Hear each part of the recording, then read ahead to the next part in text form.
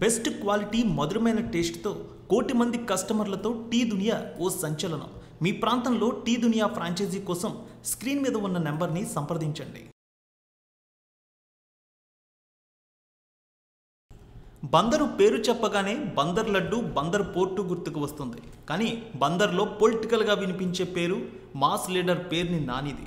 ముక్కుసూటిగా ఉన్నది ఉన్నట్టు చెప్పడం అవినీతికి ఆమడ దూరంగా ఉండడం ప్రజల్లో మాస్ ఫాలోయింగ్ ఏదైనా ధైర్యంగా చెప్పడం ఇవన్నీ ఆయనకు పెద్ద ఆస్తులు. అందుకే ప్రజల్లో పేరుని నాని మాస్ లీడర్గా ఎదిగారు. అనుకున్నాడంటే సాధిస్తాడని అంటారు ప్రజలు. వైఎస్కు ముఖ్య అనుచరుడిగా జగన్కు నమ్మకస్తుడిగా బందరు ప్రజలకు ప్రజా సేవకుడిగా పొలిటికల్గా అద్భుతమైన ప్రజాసేవతో ముందుకు సాగుతున్నారు పేర్ని నాని. పదవుల కోసం ఏనాడు కూడా ఆశపడని నాయకుడు ఆయన. మరి మాజీ మంత్రి ప్రస్తుత ఎమ్మెల్యే వైసీపీలో కీలక నాయకుడు పేర్ని నాని వెంకట్రామయ్య రియల్ స్టోరీ ఈరోజు చూద్దాం. పేర్ని నాని కృష్ణా జిల్లాలోని మచిలీపట్నంలో పంతొమ్మిది వందల అరవై ఏడులో జన్మించారు. ఆయన తండ్రి పేరు పేర్ని కృష్ణమూర్తి తల్లి పేరు నాగేశ్వరమ్మ. ఆయనకి ఓ సోదరి ఉన్నారు. ఆమెకి వివాహమైంది. వారు భీమవరంలో ఉంటారు. ఆయన బావగారు ప్రముఖ డాక్టర్. ఇక పేర్ని నాని కుటుంబం ఎప్పటి నుంచో రాజకీయాల్లో ఉన్నారు. పేర్ని నాని పేరు పేరుని వెంకట్రామయ్య. ఆయన తాతగారి పేరు ఆయనకు పెట్టారు. పేర్ని నాని తండ్రి గారు మాజీ మంత్రి. బందర్లో మంచి పేరు ఉన్న కుటుంబం వారిది. పేర్ని నానిగారి తండ్రి కృష్ణమూర్తి గారు మచిలీపట్నం కౌన్సిలర్గా మున్సిపల్ చైర్మన్గా పనిచేశారు. అలాగే ఏపీ మున్సిపల్ చైర్మన్స్ ఛాంబర్కి రెండుసార్లు ప్రెసిడెంట్గా కూడా చేశారు ఆయన. ఆయన కాంగ్రెస్ పార్టీలో అంచెలంచెలుగా ఎదిగారు. కాంగ్రెస్ పార్టీలో ఎమ్మెల్యేగా కూడా పనిచేశారు. పంతొమ్మిది వందల ఎనభై ఏడు ఎనభై ఎనిమిదిలో సీఎం నేదురుమల్లి జనార్దన్ రెడ్డి గారి మంత్రివర్గంలో సమాచార శాఖ మంత్రిగా బాధ్యతలు నిర్వహించారు. సినిమాటోగ్రఫీ మంత్రిగా కూడా విధులు నిర్వహించారు ఆయన తండ్రి. పేర్ని నాని తన స్కూలింగ్ అంతా బందర్లోనే పూర్తి చేశారు. బందర్లో బీకాం చదువుకున్నారు. ఆ సమయంలో ఆయన తండ్రికి చేదోడు వాదోడుగా ఉండేవారు. తండ్రి ఎమ్మెల్యేగా ఉన్న సమయంలో ఆరోగ్యం ఓసారి బాగాలేదు. ఈ సమయంలో ఆయన కుమారుడు నాని గారు అధికారులకి ప్రజల సమస్యల గురించి పూర్తిగా తెలియచేసి తండ్రి గారి ఆదేశాల మేరకు వారికి చెప్పి ఆ పనులు చేయించేవారు. ఇవన్నీ దగ్గరుండి చూసుకునేవారు ఆయన. అసలు నానికి రాజకీయాలంటే ఆసక్తి లేదు. కానీ రాజకీయాల్లోకి తన తండ్రిని చూసి ఆయన చేసే పని చూసి ప్రజలకు ఏదైనా చేయాలని రాజకీయాల్లోకి వచ్చారు. ఇలా తన తండ్రి ద్వారా రాజకీయాల్లోకి రావాలనే ఆసక్తి వచ్చింది ఆయనకు. ఇలా పేరుని నాని ముందు కాంగ్రెస్ పార్టీలో చేరారు. చదువుకున్న సమయం నుంచి స్టూడెంట్ యూనియన్ ఎన్నికల్లో కూడా తమ వర్గం వారిని నిలబెట్టి గెలిపించుకునేవారు. కాంగ్రెస్లో చేరిన తర్వాత పార్టీ కోసం ఎంతో కష్టపడ్డారాయన.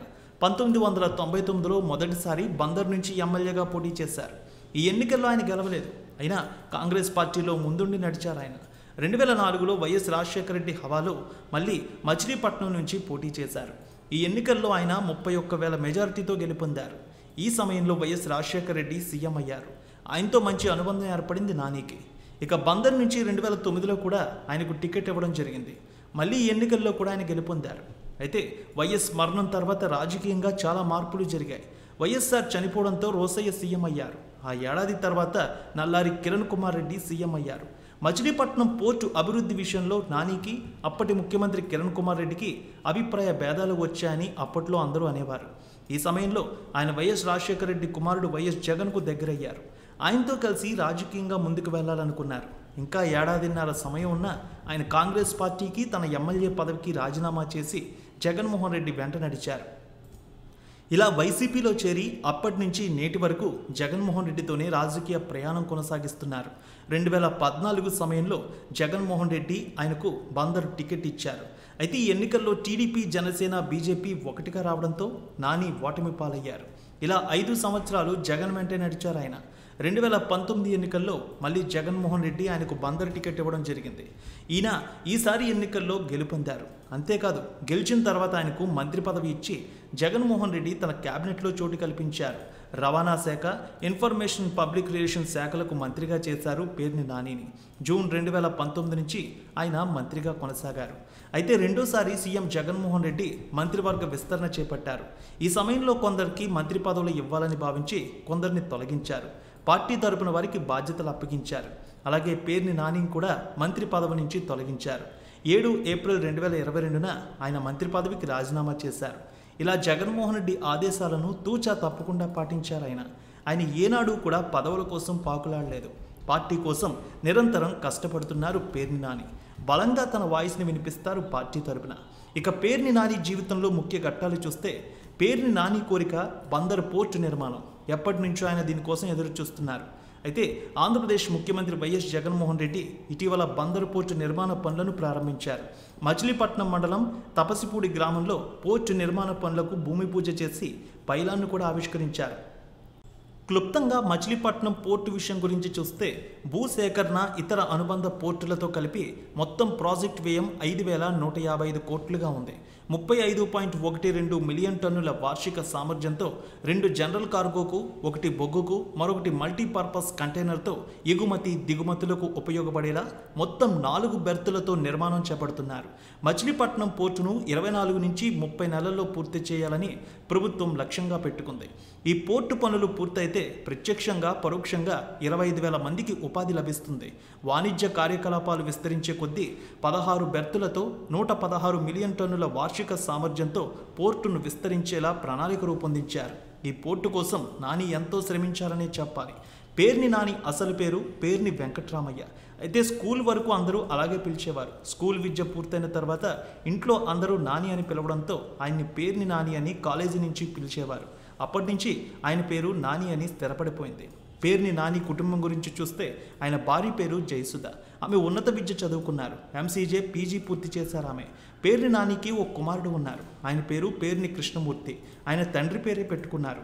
అందరూ పేరుని కిట్టు అని పిలుస్తారు. ఇక నాని కుమారుడు భీమవరంలో బీటెక్ పూర్తి చేసి కొంతకాలం హైదరాబాద్లో ఉద్యోగం చేశారు.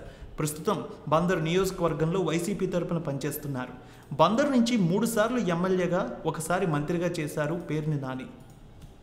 కాంగ్రెస్ పార్టీలో ఉన్న సమయంలో కూడా ఎమ్మెల్యేగా ఉండగా పార్టీ విప్గా కూడా చేశారు. ట్రేడ్ యూనియన్లో కార్మిక నాయకుడిగా కూడా చేశారు. రాజకీయంగా ఆయన ఏ పార్టీలో ఉన్నా ఒక్క అవినీతి ఆరోపణ ఆయనపై లేదు. ఆయన మంత్రిగా సేవలందించినా ఒక్క అవినీతి మరక ఆయనపై రాలేదు. తన తండ్రి సిద్ధాంతాలతో రాజకీయాల్లోకి వచ్చానని అవినీతి అనేది నా జీవితంలో ఉండదని ధైర్యంగా చెబుతారు నాని. ఒక్క రూపాయి నానికి పలానా దానికి ఏదైనా పనికి లంచం ఇచ్చామని ఆయన తీసుకున్నారని ఎవరి చేతైనా నిజాయితీగా చెప్పించండని సవాల్ కూడా చేస్తారాయన. అంత ధైర్యంగా చెబుతారు ఆయన అంత నిజాయితీ ఉన్న రాజకీయ నాయకుడు పేరుని నాని. ఇక ఆయన ప్రభుత్వ ఉద్యోగుల్ని ఎంతో గౌరవిస్తారు. వారి సమస్యలన్నీ తీరుస్తారు. ఇక పక్క నియోజకవర్గం గుడివాడ ఎమ్మెల్యే కొడాలి నాని కూడా ఆయనకు మంచి మిత్రుడు. ఇద్దరూ రాజకీయంగా ఎంతో స్నేహంగా ఉంటారు. ఇక పవన్ కళ్యాణ్ పేరుని నాని అంశం గురించి చూస్తే పొలిటికల్గా రెండు రాష్ట్రాల్లో కూడా వీరి గురించి చర్చ జరుగుతుంది. రాజకీయంగా వీరిద్దరూ నిత్యం విమర్శలు చేసుకుంటూనే ఉంటారు. ముందు ఎవరు మొదలుపెట్టారనే దానికంటే నిత్యం ఏదో ఒక అంశం గురించి పొలిటికల్ డిస్కషన్స్ నడుస్తాయి. వీరి హాట్ ఆర్గ్యుమెంట్స్పై అప్పట్లో సినిమా టికెట్ల రేట్లు తగ్గించింది ఏపీ ప్రభుత్వం. దీంతో వైసీపీ ప్రభుత్వంపై పవన్ కళ్యాణ్ తనపై కక్ష కట్టారని తన సినిమాలను టార్గెట్ చేశారని తీవ్ర విమర్శలు చేశారు. సినిమా నిర్మాతలతో హీరోలతో సినిమా ఇండస్ట్రీ సమస్యల గురించి సమాచార శాఖ మంత్రిగా ఉన్న నాని భేటీ అయ్యారు. ఇలా హాట్ డిస్కషన్స్ కొద్ది రోజులు నడిచాయి. వకీల్ సాబ్ సినిమా వసూళ్ళు తగ్గేలా టికెట్ రేట్లు తగ్గించారని పవన్ కళ్యాణ్ తీవ్ర ఆరోపణలు కామెంట్లు చేశారు వైసీపీపై. దీనిపై నాని రివర్స్ కౌంటర్ ఇచ్చారు. ఆ తర్వాత పవన్ కళ్యాణ్ సాయిధరం తేజ్ రిపబ్లిక్ సినిమా ఈవెంట్లో ఘాటు వ్యాఖ్యలు చేశారు. ఆ సమయంలో కూడా పేర్ని నాని పవన్కు కౌంటర్లు ఇచ్చారు. ఇలా వీరిద్దరి మధ్య ఆనాడు మొదలైన వివాదం ఇప్పటికీ కొనసాగుతోంది. పవన్ కళ్యాణ్ వారాహి యాత్రపై కూడా ఆయన నారాహి యాత్ర అని కామెంట్స్ చేయడం ఇవన్నీ కూడా పొలిటికల్ సర్కిల్లో హాట్ టాపిక్స్ అయ్యాయి. ఇక ఆయనకు పెద్దగా వ్యాపారాలు ఏమీ లేవు. ఆయనకు చాలామంది మంచి స్నేహితులు ఉన్నారు. స్నేహితుల వ్యాపారంలో చిన్నపాటి షేర్ మాత్రం ఉందని చెబుతారు. పెద్దగా ఆస్తులు సంపాదించాలనే ఆశ కూడా లేదని ఉండడానికి ఇల్లు ఉంది అది చాలని చెప్తారు ఆయన. ఇక ఆయన ఆస్తులు సుమారు రెండు నుంచి మూడు కోట్ల రూపాయల వరకు ఉంటాయని చెబుతూ ఉంటారు. ఇక పొలిటికల్గా ఆయన వచ్చే ఎన్నికల్లో తాను పోటీ చేయనని రాజకీయాలకు దూరంగా ఉంటానని ఇప్పటికే చెప్పారు. అయితే సీఎం జగన్మోహన్ రెడ్డి తన సహచర మంత్రులుగా చేసిన వారు నాయకులు స్థానికులు మాత్రం ఆయన్ని బందర్ నుంచి పోటీ చేయాలని కోరుతున్నారు. కానీ ఆయన మాత్రం వందకి వంద శాతం పోటీ చేయనని ఇప్పటికే చెబుతున్నారు. ఇప్పటికే జగన్ గారికి కూడా ఆ విషయం చెప్పానని చెప్పారు నాని. అంతేకాదు వచ్చే ఎన్నికల్లో బందర్ నుంచి ఎవరు పోటీ చేస్తారంటే ఆయన కుమారుడు కిట్టు పేరే వినిపిస్తోంది. మరి చూడాలి ఇక్కడి నుంచి ఆయన కుమారుడు పోటీ చేస్తారా? లేదా మనసు మార్చుకొని ఈసారి మళ్ళీ నాని పోటీ చేస్తారా అనేది. ఏది ఏమైనా రాజకీయాల్లో పేరుని నాని లాంటి వారు చాలా అరుదు. ఆయన మరింతకాలం ప్రజాసేవలో కొనసాగితే బాగుంటుందని చాలామంది కోరిక.